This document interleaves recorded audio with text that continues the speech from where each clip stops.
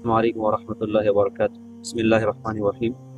الحمد للہ ہم سب کے لیے بڑی سعادت کی بات ہے کہ ہم لوگ اس وقت مسجد نبی میں ہیں اور ختم نبوت کے عنوان پر الحمد للہ جو کام ہمارے مفتی اسن صاحب نے شروع فرمایا ہے اسی سلسلے کی کی دوسرا پارٹ ماشاء اللہ اس وقت ہم لوگ تیار کر رہے ہیں۔ اس میں مفتی صاحب سے ایک دو سوال کرنے ہیں۔ سوال یہ ہے کہ ختم نبوت کیا ہے؟ عوام کے اعتبار سے یہ سمجھائیں۔ اور دوسرا یہ بات پوچھنی ہے کہ قرآن اور حدیث سے ختم نبوت کے دلائل کیا ہے مفتی صاحب، انشاءاللہ اس کا جواب مرحمت فرمائیں گے۔ بسم اللہ الرحمن الرحیم۔ ختم نبوت کا جو مطلب ہے، عوام کو وہ یہ ذہن میں رکھنا چاہیے کہ ختم نبوت کا مطلب ہے نبوت کا سلسلہ قطع ہونا مکمل۔ نبی کریم صلی اللہ علیہ وسلم کے تشریف لے آنے کے بعد آپ صلی اللہ علیہ وسلم پر نبوت کا سلسلہ مکمل ہوا۔ اب کوئی نیا نبی مبعوث نہیں ہوگا، کوئی نیا نبی اسے نبوت عطا نہیں کی جائے گی۔ اس پر امت کا اجماع ہے۔ دوسرے، اس کے مختصر سے دلائل جو عوام کو ذہن میں رکھنے چاہیے وہ یہ ایک دلیل تو قرآن مجید سے کہ اللہ رب العزت نے سورہ احزاب میں ارشاد فرمایا کہ ما کان محمد ابا احد من رجالکم ولکن رسول اللہ و خاتم النبیین نبی کریم صلی اللہ علیہ وسلم نبوت و رسالت کے سلسلے کے خاتم اور آپ کے ذریعے سے یہ سلسلہ ختم ہوا، منقطع آپ پر نبوت کا یہ سلسلہ منقطع ایک دلیل تو یہ قرآن مجید کی آیت سے ہے، یوں تو قرآن مجید کی کم از کم سو آیتیں ہیں۔ جو ختم نبوت کی طرف اشارہ کرتی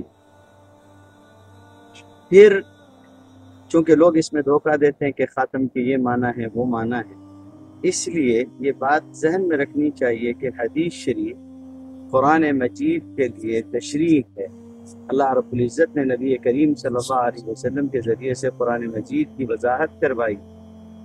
چنانچہ حدیث شریف سے یہ بات واضح طور پر سمجھ میں آتی ہے کہ آپ صلی اللہ علیہ وسلم پر نبوت کا سلسلہ رسالت کا سلسلہ منقطع ہو چنانچہ ترمیزی شریف میں کتاب الرؤیا باب ذہبت النبوہ کے اندر حدیث شریف ہے حضرت انس ابن مالک بیان کرتے ہیں نبی کریم صلی اللہ علیہ وسلم نے فرمایا ان الرسالة والنبوة قد انقطعت فلا رسول بعدی ولا نبی میرے بعد کوئی نبی نہیں کوئی رسول نہیں رسالت اور نبوت منقطع ہو چکی ہے۔ حدیث کا نمبر دو ہزار دو سو بہتر ہے۔ ترمیزی شریف کی حدیث ہے اور صحیح حدیث ہے۔ تو نبوت و رسالت کا سلسلہ نبی کریم صلی اللہ علیہ وسلم پر منقطع ہو چکا ہے۔ یہ بات ذہن میں رکھنے کی ہے۔ اب اگر کوئی دعویٰ کرتا ہے تو ہمیشہ اس بات کو ذہن میں رکھیے کہ وہ آدمی اپنے دعوے میں جھوٹا ہے۔ حضرت امام ابو حنیفہ رحمۃ اللہ علیہ سے بعض بزرگوں نے یہ بات منقول منسوخ کی ہے اور وہ یہ کہتے ہیں کہ امام ابو حنیفہ رحمۃ اللہ علیہ کہتے ہیں کہ اگر کوئی آدمی یہ کہے کہ میں نبی ہوں اور کوئی اس سے یہ کہے کہ تیرے دعوے کی دلیل کیا ہے تو وہ بھی قاتل ہو جائے۔ اس لیے کہ یہ ایک طے شدہ حقیقت ہے کہ حضور صلی اللہ علیہ وسلم کے بعد اب کوئی نبی نہیں۔ اس لیے کسی کے دعوے پر کوئی دلیل بھی نہیں پوچھی جائے قرآن مجید اور حدیث شریف کے بعد اب کسی اور دلیل کی ضرورت باقی نہیں رہے۔ سنشائن ہربل لے کر آیا ہے، مایوس شادی شدہ مردوں کے لیے ایک نایاب نسخہ، سو فیصد اثردار اور طب نبوی سے تیار کردہ آیورویدک دوا، ساتھ ہی موٹاپا کم کرنے اور وزن بڑھانے کے لیے بہترین نایاب نسخے۔ علماء کرام کے لیے کاروبار کرنے کا سنہرا موقع۔